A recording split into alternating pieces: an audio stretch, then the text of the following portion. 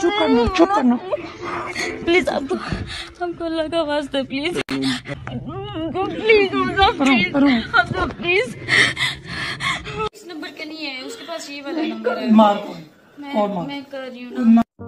अस्सलाम वालेकुम कैसे सब लोग? सब ठीक होंगे। सो पिछले दस दिन से तकरीबन एक वीडियो वायरल हो रही है बहुत ज़्यादा और लोग मेरे पे तरह तरह की बातें कर रहे हैं और मुझे यूट्यूब पर मेरे पे तरह तरह का गंद उछाला जा रहा है, लेकिन रियलिटी आपको पता है, हकीकत आपके सामने है कि उस वीडियो में क्या हो रहा है और क्या नहीं हो रहा, लेकिन इसके बावजूद कुछ इतनी जाहिल आवाम है, इतनी घटिया आवाम है जिनके अपने घरों में तो आई डोंट थिंक चूँकि माएँ बहनें नहीं होंगी, तभी वो इस तरह की हरकतें और इस तरह की बातें करते हैं।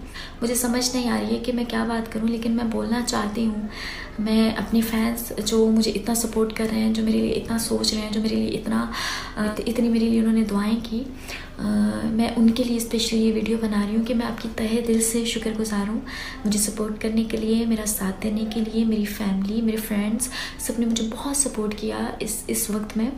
बट ये मेरे साथ हादसा हुआ था जो कि चार साल पहले हुआ जिसको लेकर मैं बहुत टेंस थी और बहुत डिप्रेशन में चली गई थी लेकिन मैं स्ट्रांग थी मैं स्ट्रांग हूँ और मैं हमेशा स्ट्रांग रहूँगी इन घटिया लोगों की वजह से, इनकी घटिया हरकतों की वजह से मैं अपने आप को तोड़ नहीं सकती हूँ, क्योंकि ज़िंदगी बहुत खूबसूरत है।